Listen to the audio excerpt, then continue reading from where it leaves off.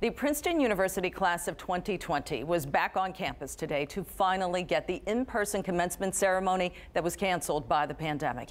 It was the first time many graduates stepped foot on campus since March of 2020. News 12 New Jersey's Alex Sedan with that story from Princeton. It's great seeing all my friends. It's been forever. Two years after the pandemic canceled their in person commencement, the Princeton University class of 2020 had its day in the sun. 2020, you got perfect graduation weather this morning, and after a two year wait, you deserve it. Over 1,000 of the 1,200 member undergraduate class returned to campus for the sights, sounds,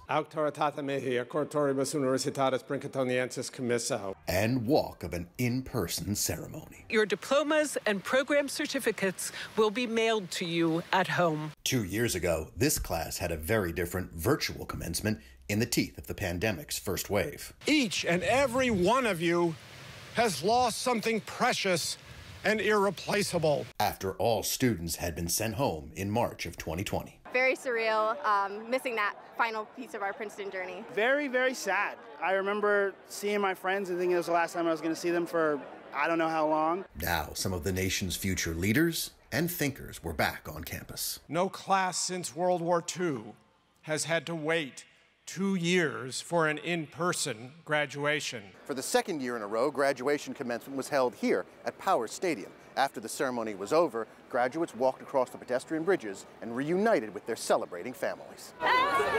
You never thought you were going to get to this day, and we did. And that um, it's fantastic. I'm remembering stressing about homework, but now I have bills to pay, and so that's definitely a different thing to be used to. So but now you're nostalgic for homework. Exactly. Now I'm very nostalgic for homework. So it was nice to kind of get that conclusion today, get that closure. You got a sense of closure today? Yes, I would say I did. In Princeton, Alex Sedan, News 12, New Jersey.